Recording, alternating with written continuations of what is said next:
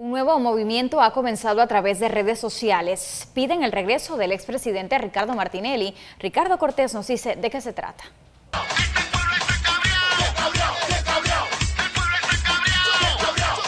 Se vuelve loco, que ese es el que se necesita aquí en Panamá. Todo consiste en una campaña que se ha vuelto viral a través de las redes sociales. En ella aparece como varias personalidades en Panamá han colocado unas calcomanías en sus carros en donde piden el regreso del expresidente Ricardo Martinelli. Los locos somos más, los locos somos más, más, más, más. Que regrese el loco. La gente quiere a Ricardo Martinelli, ya tú sabes. Y que vuelve loco, pero que vuelva ya. El eslogan que vuelva el loco ya para Carmen Boyd es una campaña que se ha convertido en un movimiento de personas cansadas por la lentitud del gobierno del presidente Juan Carlos Varela. Lo más que una campaña es el sentir de las bases, el sentir de toda una población, donde tú vas, tú ves que la gente te pide, oye, que vuelve el loco, ¿cuándo regresa Martinelli? Y más que nada es eso, el sentir de las bases, el sentir de un pueblo que está harto de tanta ineptitud, de tanta falta de, iniciativa, de todo. Detrás de esta campaña que clama por Ricardo Martinelli, encontramos figuras como el cantante DJ Black, para quien el pueblo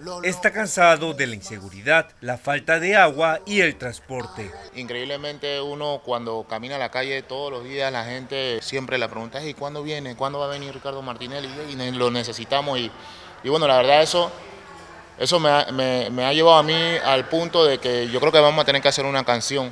Este movimiento ha despertado la unión de varias personas que claman que vuelva el loco. Es el sentir del pueblo panameño. Quieren que el loco venga aquí a resolver los problemas del país aquí. El cantante de reggae DJ Black dijo ante las cámaras de Next Noticias que prepara una canción para dar la antesala de la campaña que vuelva el loco ya.